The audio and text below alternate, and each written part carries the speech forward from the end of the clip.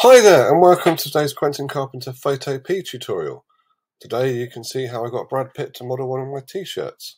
Obviously I couldn't afford to pay him so I cheated and used Photo P's new exciting magic replace tool.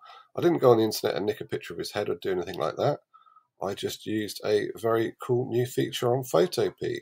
I'll show you what I did. So I went into the my menu down here hold on to the little arrow here and I find match found what we want to replace. We come up to here where it says new content and I'll show you Jude Law first because he's really funny. We press processing and we will wait a few moments for the magic of magic replace to happen. And look, there's Jude Law. And we can type in Brad Pitt and click replace and it will replace my head with Brad Pitt's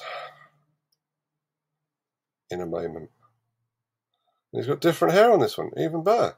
So you can see you can put in anything you want and it will do it. Now, interestingly, if you try and do this in Photoshop's beta, it tells you that it can't because it goes against their guidelines. So that is a worrying thing. Now, obviously, we don't have permission to use these people's likenesses, so hopefully I won't get sued.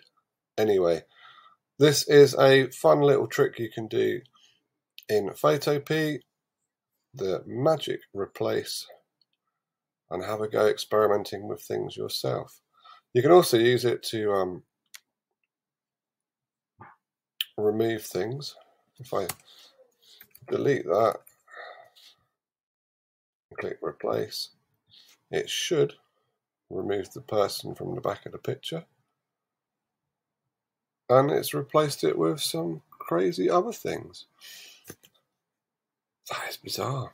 What next? Okay, there you have it. Lots of fun to be had with Magic Replace. Now, I will see you next time on Quentin Carpenter Nature of Flowers. Thank you very much for watching and goodbye.